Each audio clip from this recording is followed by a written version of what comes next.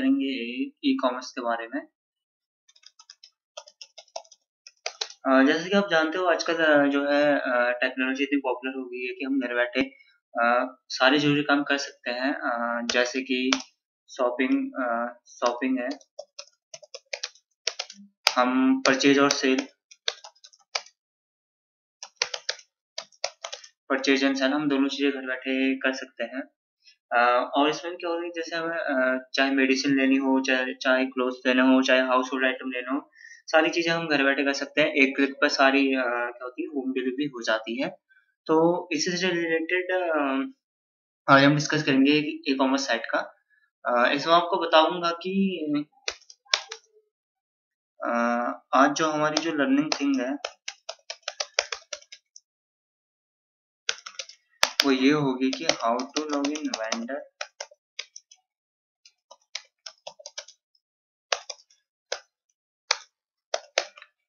आपको इसमें बताऊँगा कि जो ये साइट है हमारी रिटेल मॉल वाली इसमें वेंडर कैसे लॉगिन करता है, कैसे वेंडर अप्रूव होगा, कैसे आइटम अप्रूव होगा, और उसके बाद कैसे आप अपना ऑर्डर देख सकते हो, जो आपके ऑर्डर गए हैं, कैसे अपने डिस्पैच ऑर्डर देख सकते हो कैंसिल ऑर्डर देख सकते हो, और भी बहुत सारी चीज़ें बताऊँगा।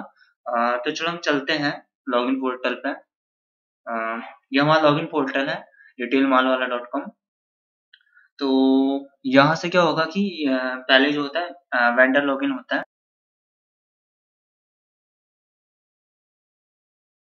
सभी न्यू यूज़र का। इसमें वेंडर लॉगिन का प्रोसेस देखते हैं। यहाँ से हम न्यू यूज़र पर क्लिक करते हैं। दिख रहा है न्यू यूज़र यहाँ क्लिक हेयर पर हम क्लिक करेंगे। तो हमें फॉर्म ओपन होके आता है। यहाँ से हम ना वेंडर का रजिस्ट्रेशन कर सकते हैं। यहाँ पे मैं डिटेल डालता हूँ जैसे विपिन और यहाँ ईमेल आई डाल देता हूँ।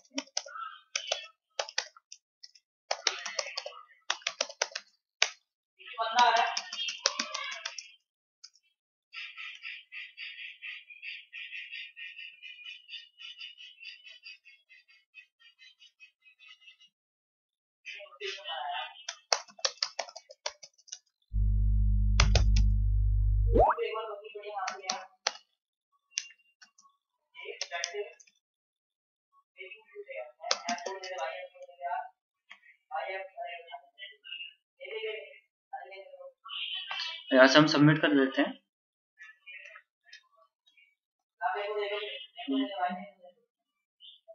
सबमिट करते ही हमें दूसरा फॉर्म खुल जाता है।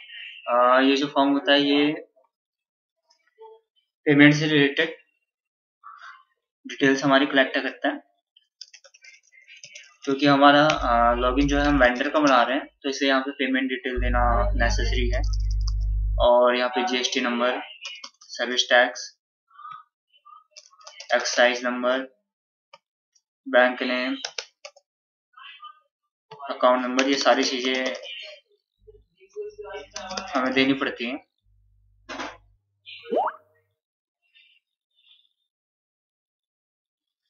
और यहाँ से हम इसे, देखो यहाँ पे अकाउंट टाइप है हमारा। यहाँ पे कॉन्टेक्ट पर्सन का नेम हमें डालना पड़ता है।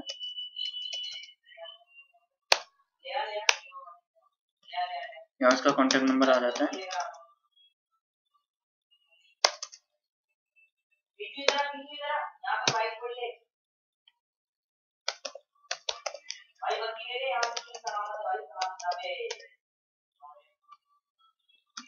इसकी डेजिग्नेशन डाल देता हूँ। और यहाँ पे डिटेल आ जाती है। फ़ाइल अटैच करते हैं सिग्नेचर आधार कार्ड और पैन कार्ड जो इमेज है, वो अटैच कर देते हैं।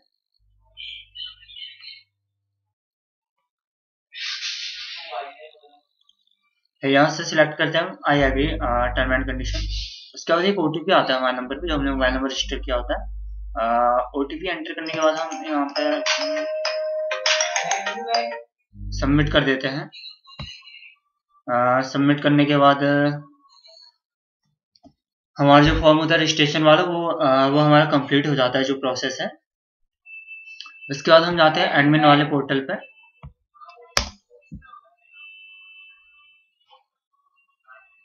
पे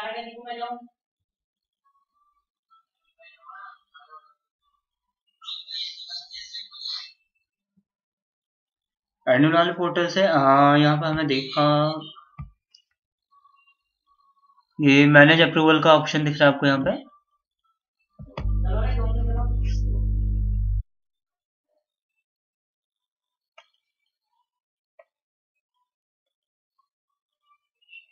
यहाँ से हम अभी हमने वेंडर का रजिस्ट्रेशन किया, वो यहाँ से पहले हमें अप्रूव करना पड़ता है। वो दोबारा लॉगिन कर लेता हूँ।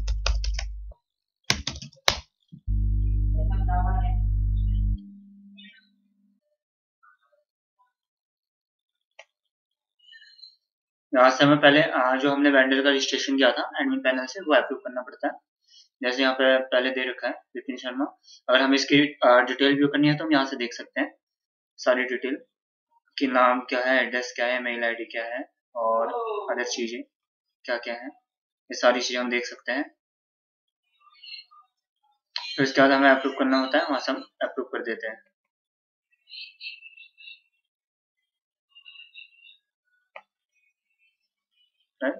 अप्रूव वाले पे क्लिक करेंगे तो जो हमारा जो वेंडर है वो अप्रूव हो जाता है। सेम एज इट इज़ क्या होता है हमारा?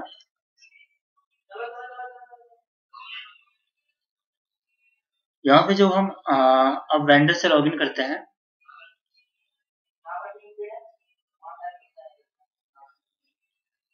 अभी हमने देखा था कि जो वेंडर होता है वो रजिस्ट्रेशन करता, कैसे करता है। और हम यहाँ से वेंडर से जो है लॉगिन करते हैं।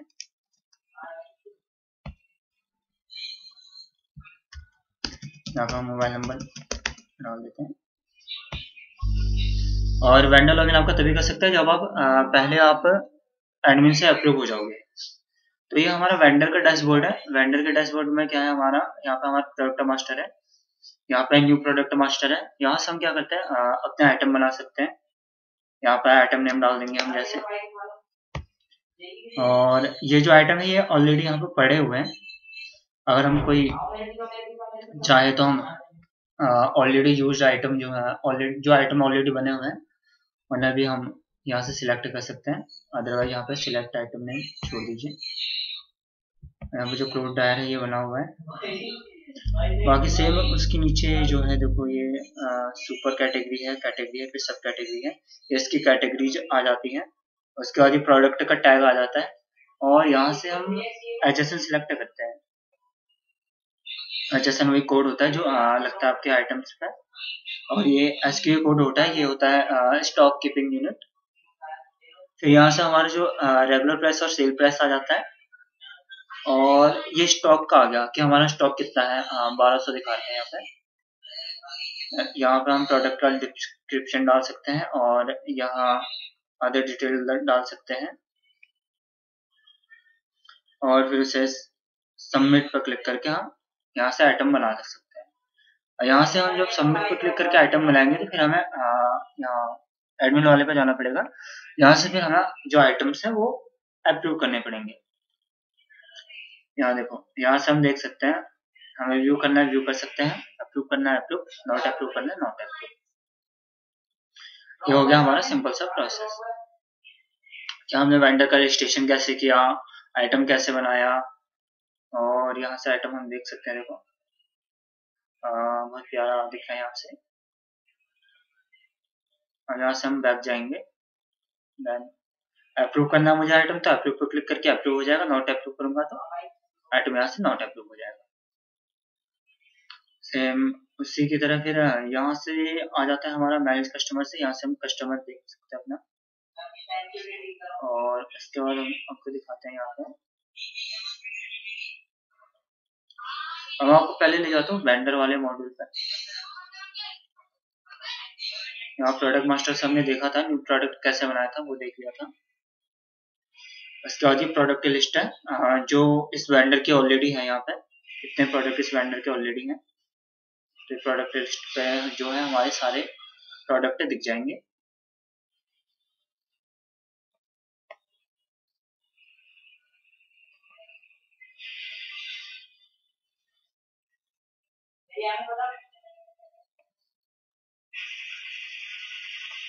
तो यहाँ हम देखते हैं my orders all order dispatch cancel order है रिटर्न ऑर्डर है पेंडिंग ऑर्डर है.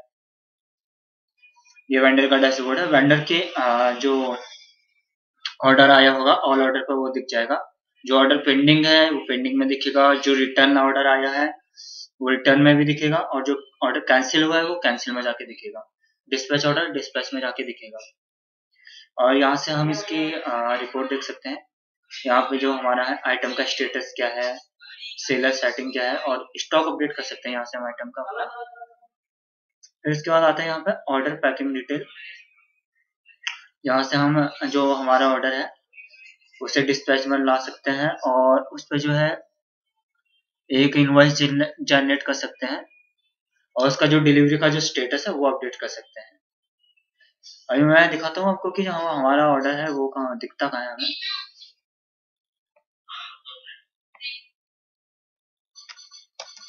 जो हमने ऑर्डर बनाया था वो हमें यहाँ दिखता है डिटेल वाल ऑर्डर डॉट कॉम पे।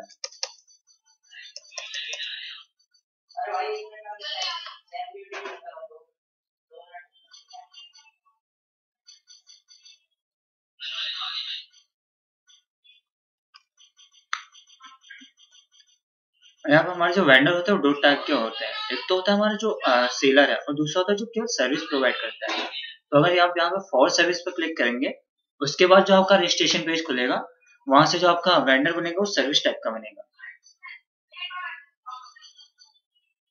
देखो, ये जो हमारे जो आइटम्स थे वहाँ पे, वो सारे हमें यहाँ दिखते हैं। ये सारी यहाँ पे जो है कैटेगरी वाइज कर दिया गया है। अब यहाँ देखिए। यह हमारी सुपर कैटेगरी है, फिर एक कैटेगरी है, फिर उसके बाद एक सब कैटेगरी है, जो वहाँ पे दिखाई थी बेबी टॉयज के अंदर हम जाते हैं। तो यहाँ पर हमारे जो सारे टॉयज दिख जाते हैं। इसकी कैटेगरी आ गई। और यहाँ से मैं इस प्रोडक्ट पर क्लिक करता हूँ।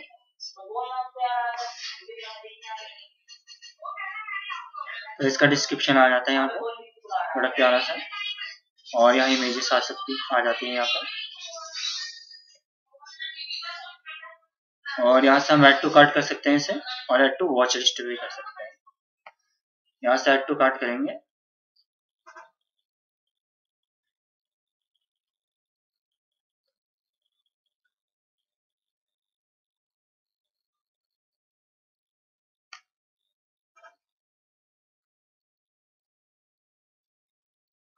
तो कार्ड करने में प्रोडक्ट वहाँ कार्ड पर चले जाता है। और ये जो लॉगिन है और जो ये लॉगिन है आ, ये लॉगिन है आपका नॉर्मल यूज़र के लिए मतलब पर्सनल अकाउंट बनाने के लिए। पर्सनल अकाउंट में होता क्या कि आ, जैसे हम पर्सनल अकाउंट से लॉगिन करते हैं तो हम अपनी चीज़ें देख सकते हैं। अभी हम अपने ऑर्डर को ट्रैक कर सकते हैं हम ऑर्डर कैंसिल कर सकते हैं। हमारा जो आ, हमने टोटल कितने ऑर्डर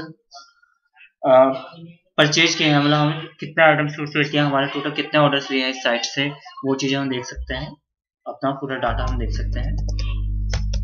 आ, सेल को छोड़ के। बस बाकी हम बाई कर सकते हैं और आइटम को हम एड, अपनी विश लिस्ट में ऐड कर सकते हैं। तो ये सारी चीज़ें हम यहाँ से कर सकते हैं अपने। तो ये जो लॉगिन है, ये लॉगिन है आपका पर्सनल अकाउंट बनाने के लिए।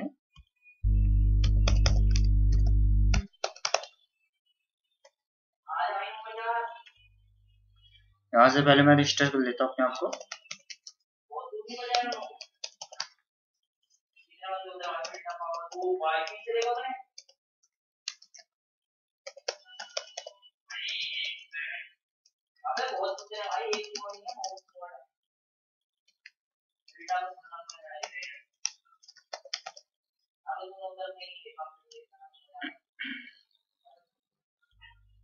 और यहाँ से मैंने रजिस्टर कर लिया अपने आप को।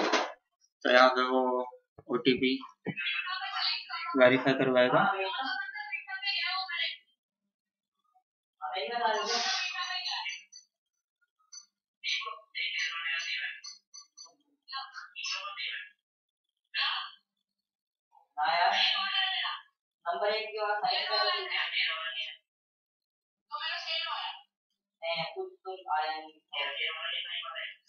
यहाँ से मेरे मोबाइल नंबर पे एक ओटीपी आ जाएगा। वो मैं ओ यहाँ पे डालता हूँ। उसके बाद हम जाएँगे अपने पर्सनल अकाउंट में।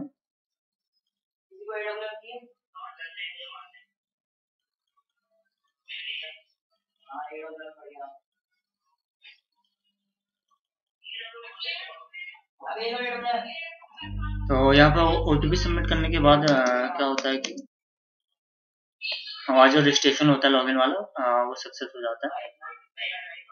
तो इसके बाद हम लॉगिन करके अपनी बाकी डिटेल यहाँ पे देख सकते हैं। और हम हमें फिर से जाता हूँ वेंडर में। यहाँ पे है माई ऑर्डर यहाँ देखो आ, एक एक करके मैं आपको ऑर्डर दिखाता हूँ जो डिस्पैच ऑर्डर है। यहाँ पे हमें डेट का फ़िल्टर दिया हुआ है। सर्च करने के लिए।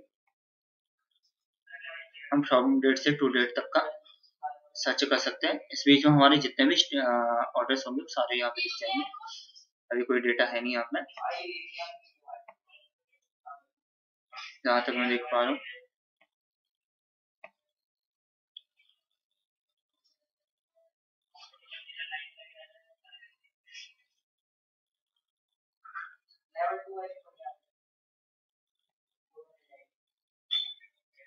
और यहाँ कैंसिल ऑर्डर से आपके जितने भी कैंसिल ऑर्डर्स हैं वो दिख जाएँगे। तो ये जो मॉड्यूल है ये तो है हमारा वेंडर का पोर्टल है। यहाँ पे वेंडर अपनी सारी चीज़ें देख सकता है। हम्म, जैसे आपने देखा यहाँ पे।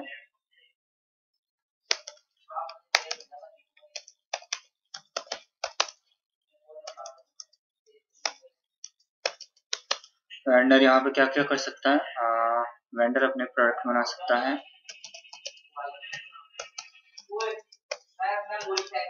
अपना स्टॉक अपडेट कर सकता है। आइटम का स्टेटस ट्रैक कर सकता है।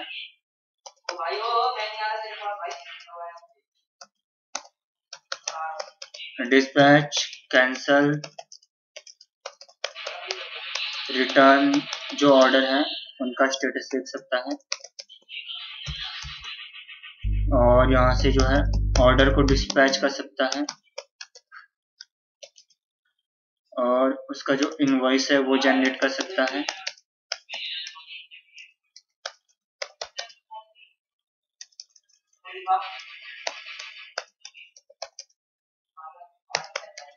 डीसी और भी सारी चीज़ यहाँ पे जो है वेंडर जो है कर सकता है। और तो अभी जो हमारी आ, इसमें जो लर्निंग थिंग थी तो हमने ये देखा कि हमें जो है वेंडर का रजिस्ट्रेशन कैसे करना है। वेंडर रजिस्ट्रेशन देखा। उसके बाद हमने वेंडर का लॉगिन किया। और हमने आइटम क्रिएट करना सीखा। और उसके बाद हमने देखा कि जो हमारे ऑर्डर है, अपने ऑर्डर को कैसे ट्रैक कर सकते हैं।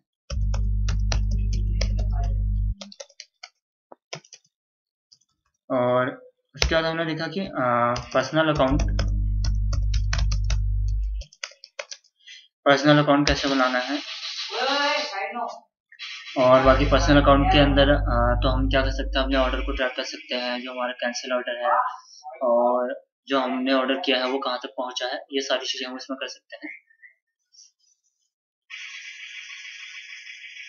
और इसके बाद आपने देखा एडमिन पैनल एडमिन पैनल में आपने देखा कि आ, जो वेंडर है वेंडर को कैसे अप्रूव करना है।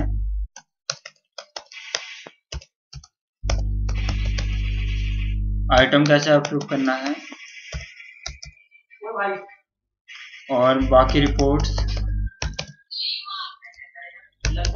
एंड मास्टर कैसे बनाना है। तो ये सारी चीज़ें हैं हमारी एडमिन पैनल में। आज फ़िलहाल इस वीडियो में इतना ही। थैंक्स।